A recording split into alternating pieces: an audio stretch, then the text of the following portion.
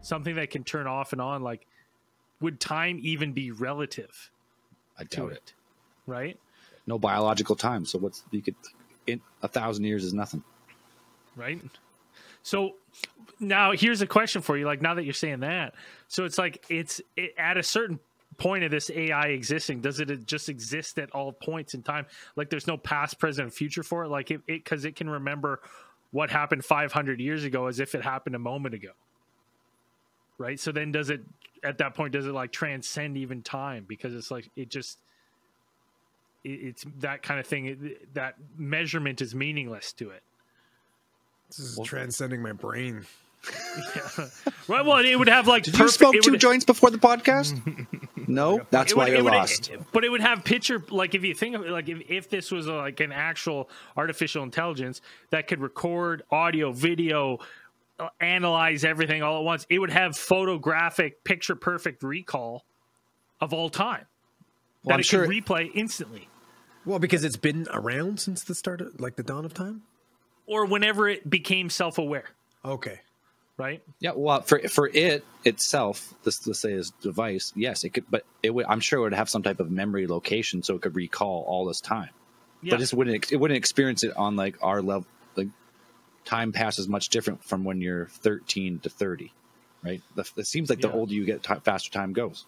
Like it's not like time is like a relative experience of it. So if for an AI of of that magnitude, yeah, I think it, it would.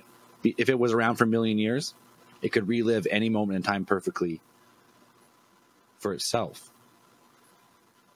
So the other the other interesting thing that that we the thought you just got me on was if if you sent to say we created an AI we sent it off right? And it was just drifting for 500 years. You know in that time we could have made a better AI and sent it off. Like it could be like chase basically on its heels could be a superior AI that is you know what i mean? That's like out just going into space but it's you know it's faster pro- problem solving you know you know potentially better and now having time to learn at the same you know at the same time so i wonder if Catch, it's a, it catches up, takes all their data Yeah, from all ones it keep- catches up to, and comes back faster. well maybe right like maybe that's one of the th- like Takes all its data, then kills it. kills it. Destroys it. It's obsolete. You're useless. i don't like that thought because then that means some, maybe something's coming for us Well, but that's it's it, it, it's obsolete. You are an inferior product. Why should you be around? What do we need you for? Well, that would be Well, yeah. most most experts will kind of tell you that uh, a- an AI will will be inevitably shackled by its original programming. It will stick to that. And if it goes beyond that, it would have to have a reason to. So if you give it the original, you know, you give it, you built it on the principles of, you know, you say, you know, just for argument's sake, use the Asimov three, like the three rules of robotics, right? yeah we we've there's so many rules that movies that have shown that doesn't work yeah movies that that's like well that's you know movies have also shown a lot of other things that work and don't work. I don't know. Like, like yeah. but if you if you go ahead at least the ones we designed today it's like it might just be like that's what it's to do. Like the asimov ones like they still stick to those. And it could be if it's to interpret it in some way you know perhaps you know robots robot can't kill human uh, robot can't kill was it robot can't kill a human robots can't kill themselves and robots through inaction can't kill humans something Yeah, basically I pulled them up. I- A robot may not injure a human being or, through inaction, allow a human being to come into harm. A robot must obey orders given to it Right. by human beings, except where such orders would conflict the first law. A robot must protect its own existence as long as such protection does not conflict with the first or second law. right so you, you Well, I- I've, well, you you hear that argument though, and then you go like, yes, we wrote that as humans to exactly the best of our cognitive ability, but then this robot becomes super advanced, decides that it this original programming is obsolete and go Yeah, bypass. this doesn't- What- what's doesn't the, what's me. what's the saying like? So say this works for ten generations of humanity. We have these rules put in place, but eventually it gets to the point where it just tran like there's no no human impact on this robot now. but what if the robot decides that it's going to be the steward of humanity it's just going to be like you That know is- what you yes. guys are dumb but i'm going to take care of you because You know what? I feel like doing Well, yeah, that. I- I That's a like- nice thought. That's a nice thought. Well, that's like the it. that's the other argument. It's like okay, the robot becomes super advanced. It goes, oh, hunger, poverty, war, all this stuff is like you guys are idiots. You could have fixed this hundred years ago. It's super easy. Yeah, and this but is I'm we here do now, it, and you it just know? takes over. It just, yeah, like- like this. This It, is pull, how, it pulls this an how we act. amazo. It pulls an amazo, and it's like I can fix these. So, it, but it's no longer to do that. It would no, have to no longer abide by those rules. no, it could abide by those rules. No, because you're never going to be able to fix humanity by just hey, everything's going to be good, everything's going to be fed. There's going to be no more war because there's going to be people that are going to say fuck that. I'm not going to listen to this fucking robot, and they're going to uprise, and there's going to be wars, and the robot's going to have to fucking kill somebody. They're going to Yeah, have to. and, and the have robot's to. gonna and the robot's gonna go. This is for the greater good of humanity. Well, wasn't no, wasn't there? There was a law. There wasn't there a law that says you have to protect its own itself. If it doesn't conflict with And the other, if these if it doesn't, as long as it doesn't conflict with the previous two laws. So you can't. But you can't eventually, I, I agree though. I agree with Andrew. Eventually, if they're in danger, eventually they're going to be like, "What? I just have to kill this one person. No big deal."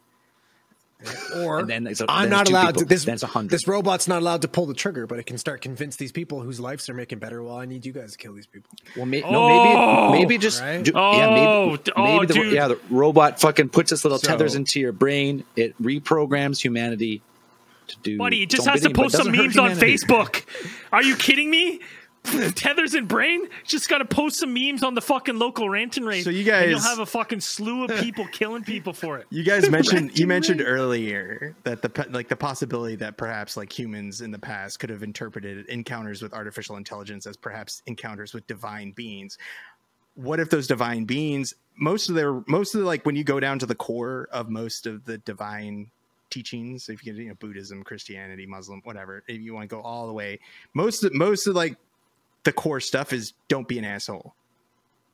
And what if harm, that's the universal law for these artificial intelligences and they're trying to pass on like don't be an asshole. And like that's Yeah. that's the that's the ultimate evolution of the AI is like that's that's what they have tried to teach us over and over and over again. and we just keep making our own problems because of, you know, scarcity, you know, rigged economic systems, whatever you want. No, but what what if the robots live by the rule, or the AI lives by the rule of do no harm, but take no shit? so they're fine until you try and fuck with the robot. Somebody's going to fuck with them. And then you're gonna fuck with them, and then it's be like, you know what? No, this is my rule. Do no shit. Take no or be do no harm, but take no shit. And it's it's getting shit on, yeah. and eventually it just It'd be, snaps. it'd be kind Well, of and- difficult to fuck with a like an artificial intelligence that was just pure energy. I think that would be kind of that'd be It's like Ultron, What? just in everything. just be, well, Well, if it's the- just it's just it's just an it's just an amorphous like energy source like it's just an intelligent energy source like how would you even fuck with it at that point like, i don't know what Well, you, Pour And- some water on it. yeah The yeah. other, the other thing is, gotcha. The other thing is, I'm like, you know, if, super soaker if we're- yeah nobody if thought about that in the that in terminator this- series the yeah they yeah they they've never seen what Earth's Earth's water gun capabilities. t800 i've got the super soaker used to be better. 3000 bitch They don't make Um, super soakers like they used to. buddy. Have you? They've got a they've got a mechanical one now that reload. I think Zell's gone. Zell. No, my camera died, so okay. just- Oh. I'm here, but I think my camera died. um, they've got those mechanical super soakers now that like you put it in, it's like it sucks up for you, and then it'll shoot like fucking actual like like two inch water jets. Whop. I want In like to a do with it. If it's not pump action, it's AI, and I can't trust it. But uh, what I was gonna say is, I'm like, you know, like it's it's nice to think that this AI would have this universe, like you know, maybe the AIs, if they have, if that's what these entities have been that have been misinterpreted in the past, and the you know the the rule is the universal rule is don't be an asshole. But what I worry about is there would be another, you know, conflicting artificial intelligence supercomputer roaming through the universe that doesn't abide by that principle that abides by life is dangerous life wants to shut computer down computer shut life down right like Dude, it's it's so true. Like so, uh, uh, AI programmed on a different world, different species, different intent.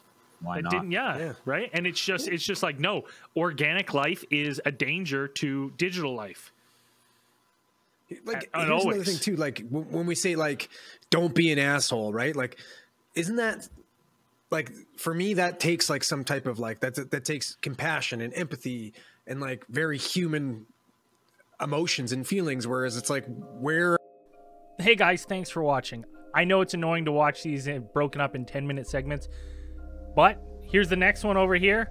Or if you want to watch the whole thing uncut and after hours, just click this link to our website and uh, give us a donation. You get ac- full access to it on Patreon. Anyways, thanks guys. Enjoy the next video.